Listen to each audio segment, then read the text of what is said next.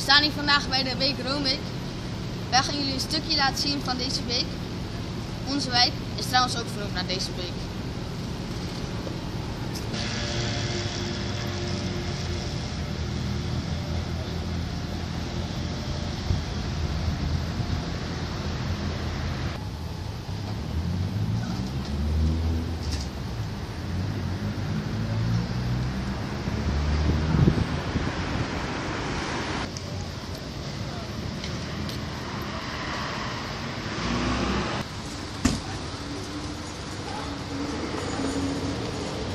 Zoals u kunt zien, kruist de, beek het midden van de wijk en zijn alle grote gebouwen en winkels eromheen gebouwd.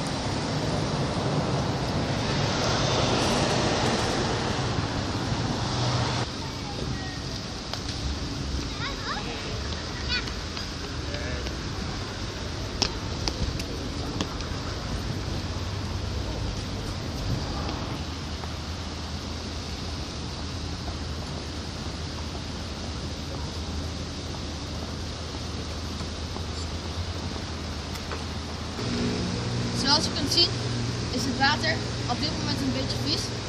Gelukkig wordt het één keer per jaar in de zomer gezuiverd.